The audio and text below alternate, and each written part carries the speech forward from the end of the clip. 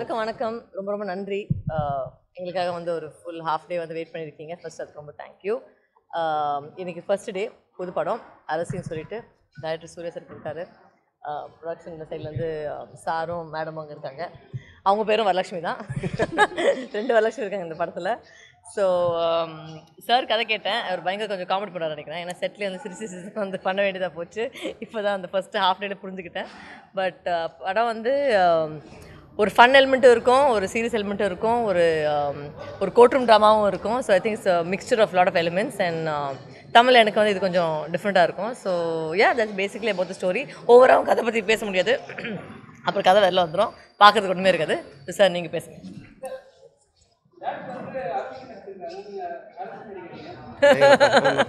அது பச்சரிசி இது புழுங்கலரிசி. அவர் அரசு. அது அரசு. அரசி. இது வந்து ரூலர் இது குயின் குயின் நல்ல கேள்வி சூப்பர் கேள்வி. சொல்லுங்க கேளுங்க பதில் சொல்லுங்க. இல்லை எனக்கே சொல்லும்போது ஃப்ளிக் ஆச்சு ஃபர்ஸ்ட் அவர் சொல்லுங்க சொல்லுங்க. நான் ரெடி விபின் உட்காருங்க. மியூசிக் இவர் பண்ணுறாரு இப்போ தான் வந்தார். எல்லாருக்கும் வணக்கம்.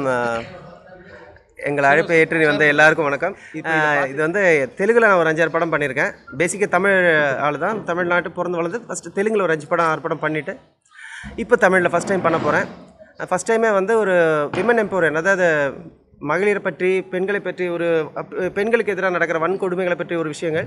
அது அந்த அளவுக்கு டாக்குமெண்ட்ரி மாதிரி இல்லாமல் இன்ட்ரெஸ்டிங்கான ஒரு எலிமெண்ட்டோட சொல்லலான்னு முயற்சி பண்ணியிருக்கோம் அந்த முயற்சி வந்து ஓரளவுக்கு மேடம் கிட்ட போனப்போ ஓகே ஒரு நாற்பது பர்சன்ட் ஐம்பது பர்சன்ட் ஒரு திருப்தி வந்துச்சு. ஃபஸ்ட்டு ப்ரொடியூசருக்கு போகும்போது அப்புறம் மேடம் கிட்ட வந்தப்போ ஒரு அறுபது எழுபது பர்சன்ட் திருப்தி ஆகிடுச்சு இனிமேல் அந்த எழுபது பர்சன்ட்லேருந்து ஒரு எண்பது பர்சன்ட் ஷூட்டிங்கில் கிளியர் ஆகும். போஸ்ட் ப்ரொடக்ஷனில் ஒரு தொண்ணூறாகும் அப்புறம் உங்கள் கையில் வந்தால் தான் என்ன ஆகும்னு தெரியாது. அது தெலுங்கில் பேசுவாங்க என் தமிழில் பேசுவாங்க. அவங்கெல்லாம் கொஞ்சம் ஆமாம் ஆமாம் என்ன பிரச்சனைனா அங்கே வந்து கொஞ்சம் சொன்னால் கேட்குறாங்க ஒரு டைரக்டருக்கு மரியாதை கொடுக்குறாங்க ப்ரொடக்ஷனுக்கு மரியாதை கொடுக்குறாங்க. அப்புறம் வந்து என்னென்னா நம்ம தொழில்னு ஒவ்வொருத்தரும் நினைக்கிறாங்க. இங்கே கொஞ்சம் எல்லாம் விளையாட்டு பசங்க ஜாஸ்தி இருக்காங்க இந்த டிக்டாக் பசங்களாம் கொஞ்சம் ஜாஸ்தியாக இருக்காங்க அவங்கக்கிட்ட கொஞ்சம் சத்தம் போட வேண்டியதாக இருந்துச்சு. இன்னொன்று சத்தம் போடுறதுக்கு இன்னொரு ரீசன் கூட கொஞ்சம் பவர் மிஸ்டேக்கால் ஸ்பீக்கர் வந்து என்ன ஆகுதுன்னா இப்போ நான் உங்ககிட்ட பேசுகிறேன் பார்த்தீங்களா வணக்கம் வாங்கன்றது அப்படி போகுதுனால அது எனக்கு அது நவுத்தி வச்சுட்டு வணக்கம் அப்படி சொல்ல வேண்டியதாயிடுச்சு. அதனால தான் சவுண்டு தவிர மற்றபடி நம்ம ஆளுங்க நல்லா ஆளுங்க தானே. வந்தாரே வாழ வைக்கும் தமிழகம். இருக்கிறவன வாழ வைக்காதா? அப்புறம் நம்ம மியூசிக் டேரக்டர் தம்பி விபின். விபின் சித்தார்த் விபின். என்னுடைய ஃப்ரெண்டு என்னுடைய கிளாஸ்மேட்டு கோகுல் படத்தில் ஒரு என்ன- படம்? இதுக்கு தானே ஆசைப்பட்டாய் எல்லா படமும் அவர் தான் இப்போ கொரோனா குமார் கூட கலக்கிறாரு. ஸோ அந்த நெல்லுக்கு பாயிருது புல்லுக்கும் பாயிருன்ட்டு சொல்லி எனக்கும் கொஞ்சம் இந்த படத்தில் வந்து பாட்டாக பெருசாக எதுவும் இல்லை. மேடம் கொண்ட ஒரு இந்த ஒரு இந்த சிங்கப்பண்ணை மாதிரி ஒரு ஒரு என்ன சொல் மோட்டிவேஷ்னல் சாங் ஒன்று இருக்குது செகண்ட் ஹாஃபில் அப்புறம் ஒரு சின்ன கானா அது இந்த மாதிரி பெரிய ஐட்டம் சாங்கு பொண்ணு வந்து ஆடுறது அந்த மாதிரிலாம் இல்லை. சும்மா நம்ம மோலாச்சி பாடுவோம்ல. ஜிங்கிடி ஜிங்கா ஜிங்கிடி ஜிங்கா பங்கன பள்ளி மாங்கா பம்பம் அப்படி அப்படி ஒரு சாங்கு இந்த மாதிரி ஒரு நமக்குள்ளே மோளம் அடிச்சுட்டு பாடுற மாதிரி ஒரு சாங்கு அது அழகாக அவர் ஒன்று பண்ணியிருக்காரு. அப்புறம் மற்றபடி என்னுடைய ப்ரொடக்ஷன் சைடு வந்து சிஸ்டர் வரலட்சுமி மேடமும் சரி. அப்புறம் நான் வந்து நல்ல எக்ஸ்பீரியன்ஸ் இருந்து அவரும் ஒரு இயக்குனர் இருந்து கூட என்ன இந்த படம் இயக்க சொல்லி சொன்ன என்னுடைய அருமை நண்பர் சொல்லப்போனால் ரொம்ப க்ளோஸ் நண்பர். எத்தனையோ வருஷம் பழக்கம் இல்லை சார்? ஒரு டுவெண்ட்டி இயர்ஸ் இருக்குமா?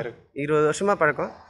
அவர் வந்து ஃபஸ்ட்டு அவர் ஒரு ப்ரொடக்ஷன் பண்ணும்போது என்னை பண்ண சொன்னது வந்து எனக்கு உண்மையாக சந்தோஷமாக இருக்குது அண்ட் வரலட்சுமி மேடம் கூட ஒரு பதினஞ்சு டேக் ஆனால் கூட பொறுமையாக அதை பண்ணுறது இன்னொன்று வந்து மற்றவங்க மாதிரி ஒ- நான் பதினஞ்சு டேக் நீங்க எடுக்கல எங்களால தான் சொல்றேன் அது அந்த பொறுமை. தெளிவா சொல்லுங்க சார். அவங்க ஒரே டேக்க ஓகே பண்ணா அந்த ஓகே டேக் ஆகாம எங்களால வந்து டெக்னிக்கல் பிரச்சனையால ஃபால்ட்டால பதினஞ்சு டேக் ஆனாலும் பொறுமையாக பல்ல கடிச்சிக்கிட்டு மனசுக்குள்ளேயே திட்டிக்கிட்டு வெளியே சிரிச்சுக்கிட்டு அழகாக ஒத்துழைப்பு கொடுத்தாங்க. இன்னொன்று வந்து இப்போ கூட பாருங்களேன் ஒரு இந்த டைம் ஆயிடுச்சு உங்கள் எல்லாருக்கும் தெரியும். ஆனாலும் நீங்கள் எல்லாரும் அதே பசியில் தான் இருப்பீங்க தெரிஞ்சு அவங்க வந்து ரெஸ்பெக்ட் கொடுத்து அவங்க வந்து இன்டர்வியூ கொடுக்கறது. இன்னொன்று இவங்க எல்லாருக்கும் ரொம்ப தேங்க்ஸ் ஒரு நிமிஷம். அவர் சவுண்டாக பேச போறாரு. இதயம் பலவீனமானவர்கள் கர்ப்பிணி பெண்கள் எல்லாரும் பார்த்து பேசுங்க. இந்த படம் அவங்க எல்லாம் பார்க்கலாம். கன்ஃபார்மா இதை பார்க்கலாமான்னு தெரியாது. இது- பார்க்கலாம் பா- கண்டிப்பா பார்க்கலாம். எல்லாரும் குடும்பத்தை பார்க்கலாம். Okay, so uh, the first women centric movie I'm doing, so I'm glad I'm doing with I met him. Uh, ரொம்ப ரொம்ப என்டர்பிரைசிங் director, ரொம்ப எக்ஸைட்டிங் ஃபன்னி ஃபெலோ அவர்.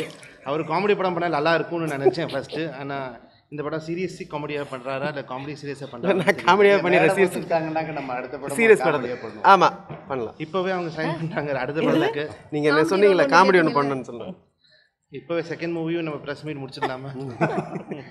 சரி. you are all here. கொஞ்சம் சூடாக இருக்குது you all for coming. Thank you for promoting the film. I'm looking forward to seeing you at the audio launch திரு ARK Rajaraja சாரோட ரசி மீடியா மேக்கர்ஸ் மற்றும் என்னுடைய விவி ஃபிலிம்ஸ் இணைந்து நாங்கள் படம் தயாரிக்கணும்னு முடிவு பண்ணும்போது முதல்ல எங்களுக்கு தோணுன ஒரே விஷயம் வரலட்சுமி மேடமை வச்சு நாங்கள் படம் பண்ணணும் அப்படிங்கிற முதல் ஆசை. மேடம் கிட்டே கொண்டு போய் நாங்கள் போய் பேசும்பொழுது இமிடியேட்டாக எங்களுக்கு டேட்டை கொடுத்து நாங்கள் நவம்பரில் தான் ஷூட் பண்ணணும்னு நினச்சிருந்தோம். ஆனால் மேடம் சொன்னதுனால நாங்கள் இமிடியேட்டாக பதினஞ்சு நாளுக்குள்ளே சிட்டிக்கு போடுற மாதிரி ஆகிடுச்சி நாங்கள் அவ்வளோ ஃபாஸ்ட்டாக வந்து ஒர்க் பண்ணியிருக்கோம். மெ மெயினாக வந்து எங்களோட டைரக்டர் சாருக்கும் ஆதி சாருக்கும் எங்களோட டீம் மெம்பர்ஸ் எல்லாருக்குமே நான் வந்து இந்த நேரத்தில் வந்து நான் தேங்க்ஸ் சொல்லிக்க கடமைப்பட்டிருக்கேன். இந்த கதை வந்து எப்படி பார்த்தீங்கன்னாலும் டைரக்டர் வந்து சொல்லிடுவார் காமெடியும் த்ரில்லிங் எல்லாமே கலந்த மாதிரி ஒரு குடும்ப பாங்கான ஒரு திரைக்கதையாக தான் இது இருக்கும். மக்கள் எல்லாருமே வந்து விரும்பி பார்க்கக்கூடிய ஒரு படம். விரைவில் நீங்கள் வந்து திரையில் சந்திக்க போகிறீங்க பார்த்துட்டு உங்களோட கருத்துக்களை சொல்லுங்கள் எல்லாருக்கும் ரொம்ப ரொம்ப ரொம்ப லைக் பண்ணுங்கள் சப்ஸ்கிரைப் பண்ணுங்கள் ஷேர் பண்ணுங்கள் bell button அமுக்குங்க. Thank you thank you thank you all